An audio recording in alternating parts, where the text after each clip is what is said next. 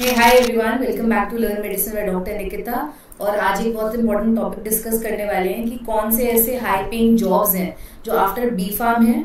और with in after this slide में start start कर दूँगी last five four three two one ऐसे काउंट डाउन स्टार्ट करके कि कौन सी सैलरी हाईएस्ट पेइंग है, कौन सी स्टार्टिंग सैलरीज है स्पेशली आफ्टर बी फार्म तो ये सिर्फ़ बी फार्म के लिए वीडियो है।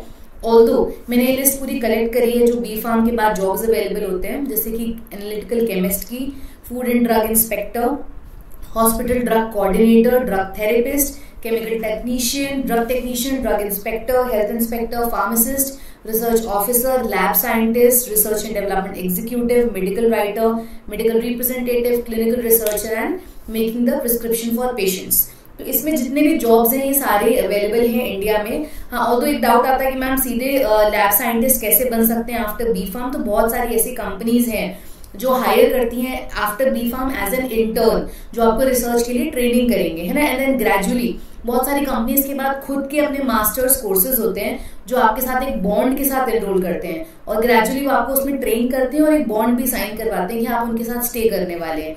तो साइंटिस्ट पोजीशन ऑब्वियसली तभी स्टार्ट होती है जब आप बहुत ही जूनियर लेवल पे स्टार्ट करते हैं और ग्रेजुअली धीरे धीरे हाई पोस्ट पे जाते हैं। मोस्टली जो यहाँ पे भी फ़ूड इंस्पेक्टर या ड्रग इंस्पेक्टर हेल्थ इंस्पेक्टर करके पोस्ट हैं, ये सारे आपके गवर्नमेंट जॉब्स होते हैं।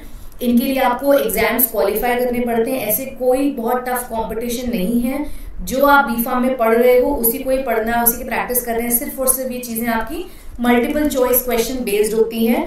तो जो भी लोग प्रिपेयर कर रहे थे जी पैट वगैरह का, उनके लिए बहुत ही ईजी होगा इसको प्रिपेयर करना।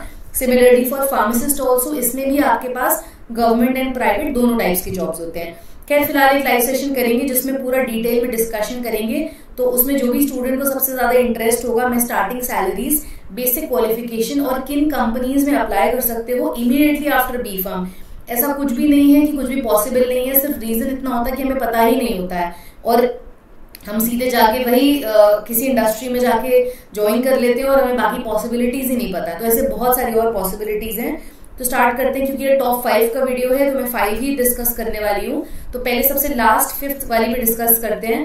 तो फार्मासिस्ट की जॉब और ये जो सैलरी यहाँ पे लिखी हुई है मैंने ऐसा कुछ नहीं कि ये लास्ट या सबसे बेकार पोस्ट है। मैं सिर्फ़ सैलरी वाइज आगे बढ़ रही हूँ अभी फ़िलहाल के लिए। फार्मासिस्ट में भी ये आपकी प्राइवेट का सेक्टर है। अगर आप गवर्नमेंट सेक्टर में जाते हैं तो आपका आराम से 25 टू 35,000 या मे बी 40,000 भी जाता है डिपेंडिंग अपॉन आपकी स्टेट की या फिर सेंट्रल की वैकेंसी के लिए अप्लाई करते हैं राइट तो फार्मासिस्ट के बहुत सारे हमारे पास ऑप्शंस होते हैं। मेन ड्यूटीज़ डिस्कस कर लेते हैं फार्मासिस्ट की क्या क्या है। तो आपको करना क्या है? कंपाउंडिंग करनी है डिस्पेंसिंग करनी है और डॉक्टर ने जो भी प्रिस्क्रिप्शन दिया है उसको इंटरप्रेट करना है। क्योंकि बहुत बार डॉक्टर्स क्या है डिटेल में नहीं लिखते पूरा शॉर्ट फॉर्म्स यूज़ करते हैं, या फिर हम जिसको बोलते हैं अब्रीविएशन यूज़ करते हैं। अगर हम मेडिकल टर्म की बात करें तो मेडिकल जार्गन्स यूज़ करते हैं राइट फिर आपको रिकॉर्ड्स मेंटेन करने हैं, क्योंकि हर सारी मेडिसिन आप ओवर द काउंटर नहीं दे सकते हैं तो कौन सी मेडिसिन आप प्रिस्क्रिप्शन से दे सकते हैं, कौन सी ओवर द काउंटर दे सकते हैं, उसके लिए आपको रूल्स पता होने चाहिए। कौन सा मेडिसिनल स्टॉक एक्सपायर या डैमेज हो गया उसको रिमूव करना और टाइम टू टाइम अपडेट करना। ये बेसिक फार्मासिस्ट की ड्यूटीज़ होती है, इसलिए आपको पता होना चाहिए। एनीबडी जिसने भी पूरा बी फार्म का स्टडी करा है, वही एलिजिबल होता है। इसमें भी स्पेसिफिक क्वालिफिकेशन होती हैं। बहुत सारी जगह पे डिप्लोमा भी एलिजिबल होता है और कई सारी जगह पे सिर्फ़ और सिर्फ़ बी फार्म ही अलाउड होता है मिनिमम क्वालिफिकेशन अप्लाई करने के लिए। दोनों ही केसेस में आप एक रजिस्टर्ड फार्मासिस्ट होने चाहिए। अगर आप इमीडिएटली बी फार्म के बाद अप्लाई करते हैं तो जब तक आप ज्वाइन करते हैं, आपका कोर्स कंप्लीट होना चाहिए और आपने रजिस्ट्रेशन के लिए अप्लाई कर देना चाहिए। तो वो एक बहुत इंपॉर्टेंट क्राइटेरिया है फॉर अ फार्मासिस्ट सेकेंड चीज़, अगर आप किसी प्राइवेट ऑर्गेनाइजेशन में अप्लाई कर रहे हैं एज अ फार्मासिस्ट बहुत सारे बड़े हॉस्पिटल्स हैं, बहुत सारे ऐसी रिटेल चेन्स हैं, जहाँ पे एज अ फार्मासिस्ट अप्लाई कर सकते हो and then you can start working at this basic salary तो स्टार्टिंग सैलरी वेरिएबल हो सकती है. प्राइवेट ऑर्गेनाइजेशंस भी इससे बहुत ज़्यादा पे करते हैं. डिपेंडिंग अपॉन आप कौन सी सिटी में tier one city tier two city कहाँ पे आप अप्लाई कर रहे हैं, कहाँ पे आप रिसाइड कर रहे हैं. ठीक है? सेकेंड हम आ जाते हैं मेडिकल रिप्रेजेंटेटिव तो मेडिकल रिप्रेजेंटेटिव की भी फ्लेक्सिबल सैलरी है 15 टू 25 स्टार्टिंग जाती है पर मंथ डिपेंडिंग अपॉन आपने कौन सी कंपनी में अप्लाई करा है. अगर बहुत ही कोई छोटी कंपनी में अप्लाई करा है जो रीजनल कंपनी है तो आपके सैलरी पैकेजेस कम होंगे, काफ़ी कम होंगे। पर अगर आप किसी अच्छी कंपनी में अप्लाई करते हो एज अ मेडिकल रिप्रेजेंटेटिव तो आपकी सैलरीज बहुत बहुत हाई होंगी। एंड एडिशनल पर्क्स भी बहुत सारे होते हैं। बेसिकली ड्यूटीज़ क्या है आपको? प्रमोशन करना है और मेडिसिन को सेल करना है मेडिकल इक्विपमेंट्स को सेल करना है to the doctors to the pharmacist या ऐसे कोई भी मेडिकल मेडिकल से रिलेटेड मेडिकल प्रोफेशन से रिलेटेड लोगों को कस्टमर रिलेशनशिप बिल्ड करना है सेल्स लीड्स जनरेट करनी है कंपनीज़ मीटिंग अटेंड करना होता है रिपोर्ट्स और प्रेजेंटेशन बनाना होता है। तो बेसिकली ये काफ़ी हद तक फ़ील्ड वर्क का जॉब है। एंड uh, बहुत ही एक्साइटिंग जॉब है बहुत सारी अपॉर्चुनिटीज़ भी होती हैं।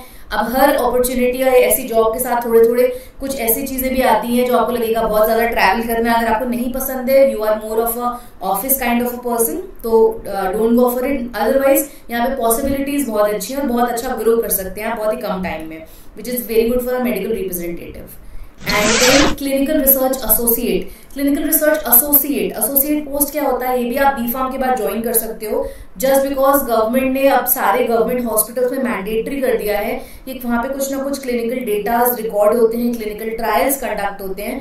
तो ऐसी जितनी भी कंपनीज़ हैं, वो हायर करते हैं लोगों को स्टूडेंट्स को basically immediately after the B pharm की क्लिनिकल ट्रायल्स कंडक्शन में उनको हेल्प करें। ग्रेजुअली आप सीधे एकदम से सीनियर पोस्ट पे नहीं जाएँगे ऑब्वियसली अगर आप एम भी करके जाओगे तो भी आप स्टार्टिंग में सीखोगे चीज़ों को। तो बी में भी ऐसे ही होता है, जो क्लिनिकल ट्रायल्स के प्रोटोकॉल्स हैं, उनको आप समझोगे, वो प्रोटोकॉल स्टैब्लिश करोगे। जो एथिक्स कमिटी है, जो डॉक्टर्स के साथ आप एक तरह का कॉन्ट्रैक्ट साइन करते हैं, उनको कन्विंस करते हैं, जो भी आपकी कंपनी जिस कंपनी के लिए भी आप काम कर रहे हैं, वो जो क्लिनिकल ट्रायल कंडक्ट कर रही है, वहाँ जो भी पेशेंट्स हैं, उनके कुछ बहुत सारे हमारे गवर्नमेंट के हिसाब से पैरामीटर्स होते हैं जो यू हैव टू चेक कि वो सारी चीज़ें कंप्लाई हो रही है कि नहीं हो रही है। रिपोर्ट्स बनाना, उसका डॉक्यूमेंटेशन करना, पूरा ट्रायल का प्रोसीडिंग के साथ, पूरा का पूरा प्रोसेस को कैरी ऑन करना। तो ये सारी ड्यूटीज़ होती है क्लिनिकल रिसर्च एसोसिएट की।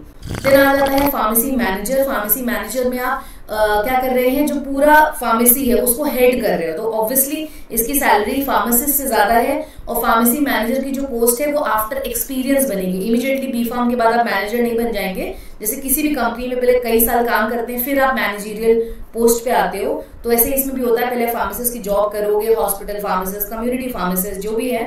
बट देन उसके बाद जब आपको एक्सपीरियंस हो जाएगा तो आप और फार्मासिस्ट को ट्रेन कर सकते हैं।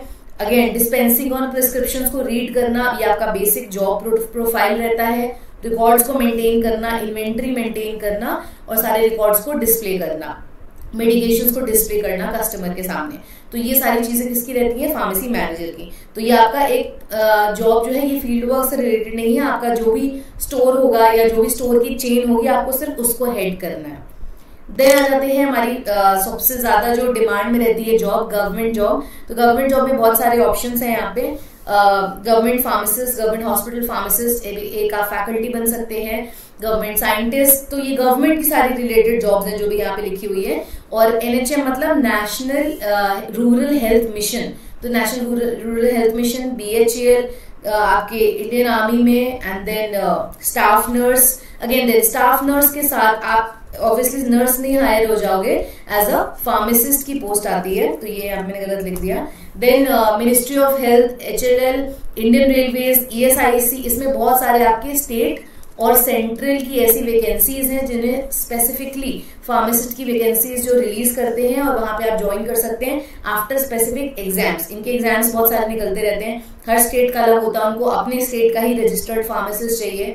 सेंट्रल में आपके पास चॉइस होती है। सेंट्रल में आप अप्लाई कर सकते हो, पर अगेन उसमें भी स्टेट वाइज वैकेंसीज होती है। डिपेंड करता है आपका उसमें कहा सिलेक्शन होगा, किस स्टेट में सिलेक्शन होगा। देन एस्टिमेटेड सैलरीज हैं ये जो डीआई वगैरह की। बहुत अच्छी सैलरी है मैक्सिमम सैलरी इसी की है। इसमें मिनिमम क्वालिफिकेशन आपको बी फार्म ही चाहिए। हाँ पर बहुत सारी जगह पे ऐसा भी होता है कि एम फार्म करके डीआई वगैरह में मिनिमम क्वालिफिकेशन में आप एम फार्म करके उसके बाद उनको कुछ एक्सपीरियंस चाहिए होता है इंडस्ट्रियल सम 18 मंथ्स और समथिंग कुछ एक्सपीरियंस चाहिए होता है। तो वो बहुत सारा वेरिएबल है डिपेंडिंग अपॉन आप कहाँ, किस स्टेट के लिए अप्लाई कर रहे हो। अगेन ये फार्मासिस्ट की jobs and then drug technicians तो these were the top five jobs according to me और मैं इनको रेट नहीं कर रही हूँ, सिर्फ़ और सिर्फ़ सैलरी के बेसिस पे था। और बहुत सारे जॉब्स हैं जिनको हम इंडिविजुअली डिस्कस कर सकते हैं। तो अगर लगता है इनमें से कोई भी और चीज़ों में आप इंटरेस्टेड हो तो उसको कमेंट सेक्शन में ड्रॉप करिए कि किसके बारे में आपको स्पेसिफिक जानना है कि कैसे क्वेश्चन पूछे जाते हैं कौन सी कंपनीज़ हायर कर रही हैं, क्या पैकेजेस दे रहे हैं, किस स्टेट में क्या पॉसिबिलिटीज है। तो अगर ये सारी चीज़ें डिस्कस करनी है then let me know okay then like share and subscribe to learn medicine by doctor Nikita thank you all of you